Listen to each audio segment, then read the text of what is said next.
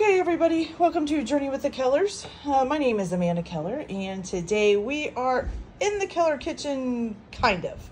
So today we are going, putting, installing the new floors, which I can't talk, I guess. It's really late at night. Um, I did not catch when my husband first started this just because I was working.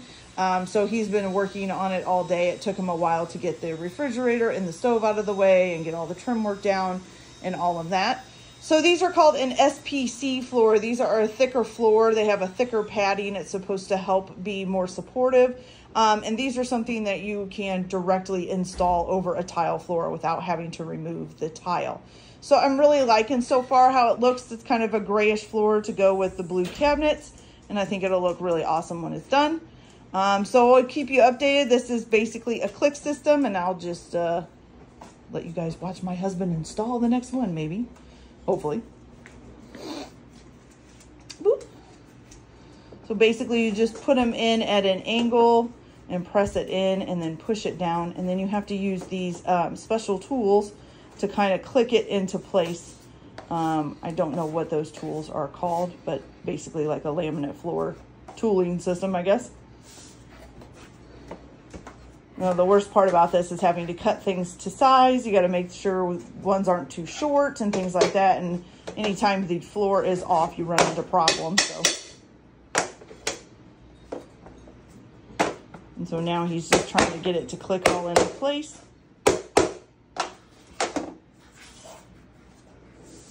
And make sure everything is in there.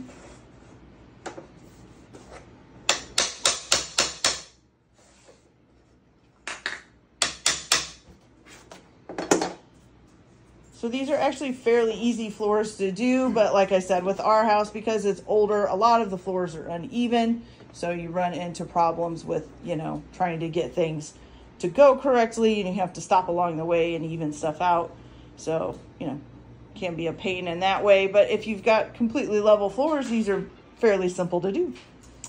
All right, you guys, so I will uh, get back with you tomorrow on this and we'll uh, see how it progresses along hopefully it'll be done by tomorrow night so that we can put the kitchen back together. All right, we'll see you in a little bit, you guys. So it looks like uh, we're on the last little bit here, which is getting around this heat vent, um, heating and air conditioning vent, whatever. But the uh, floor itself is actually pretty much done. Um, still need to do the laundry room slash pantry, whatever you want to call that in there. Um, and then we still need to do um, the little like dining room out here, which is going to probably be, I think he's going to do that on a different day. I'm not sure. Um, so it's looking really good. I really like it with the cabinets. It kind of makes them stand out. So here's kind of everything together. So I hope you guys uh, really like it. Now you do have to remember to use spacers with this. You know, you have to space it off of the wall when you start um, just to give it kind of room to expand and contract. Um, and, you know, it's fairly easy. It does take a while, especially when you're doing a bigger room like this, because this is a fairly decent size area to do. And, uh, you know, so far it looks pretty good. I think he's happy with it. I'm happy with it. And it looks a lot better than that nasty tile, that's for sure. And this is 100% waterproof. So, um, you know, if somebody spills anything on it or anything like that, it should just wipe right up. That'll be great.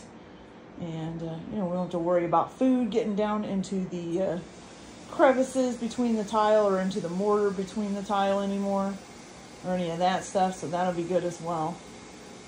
So, yeah. Okay, you guys, so I will uh, come back after everything is finally together and put away. And uh, we'll see the final results. Right now, everything's kind of a mess because there's stuff sitting everywhere. So uh, I'll come back after we get it all completely done see you in a little bit. All right, you guys. So here is the finished product. Okay. So I think it looks fabulous. There are still a few like trimming up things that need to be done. Um, but other than that, it looks fantastic. I love it. Um, so it's just really awesome the way it came out. Um, my husband did a really good job. Um, it took a long time. So this took almost a total of two days. Um, would have been shorter if we had had exactly everything that we needed, but unfortunately he had to take time running back and forth um, to the home improvement store yesterday just to keep, you know, get things that um, we didn't know that we need that we needed. And then of course it takes a while to take all the trim down and to like move the refrigerator out of the way and the stove and all of that stuff. So um, that took up a lot of our time. So probably the actual floor part took about, I would say, mm, maybe 15 hours altogether. So yeah, it did really well. He did really well. So he got it done in a weekend though. And, uh, you know, the cats are a little confused as you can tell. They don't know what's going on. But it looks a whole lot better than that um, nasty, dingy tile that was up. Um, and I actually really like how it looks with the new blue cabinets. Um, so now the only thing left to do in the kitchen is to update the sink. We were going to paint the um, countertops black, but we have decided the countertops already have some like blue and brown in them. So they kind of already match um, what we've painted. So we've decided to leave it like this. Um, but this sink here, so this sink was in when we bought the house and I'm not sure what it's made out of, but it is just really gross. You can't keep it clean. It's just not, I, I don't like it. So um, we have bought a stainless steel sink to replace that way.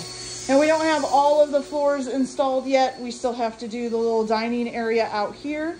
And we still have to do the little laundry room out here or in here. But as far as the and like I said, we need some trim right here along this little step and then some trim in the um, doorway to the bathroom. But, and a little bit of trim down here by where the cabinets, it butts up against the cabinets. But other than that, it looks great. I'm really, really happy with how it turned out. Um, and I really think this will probably help sell the house than seeing that nasty tile all over the place. So all right, you guys, so that is it for this video. I hope you guys liked it. Like and subscribe if you like, or don't if you don't. Hello, Seabird. Um, everybody have a good day. Enjoy your home improvements, I guess. And since we're in the kitchen, keep your kitchen messy. Because, you know, it's always messy when you're improving your kitchen. And uh, I hope you guys all have a good day. Talk to you later. Bye.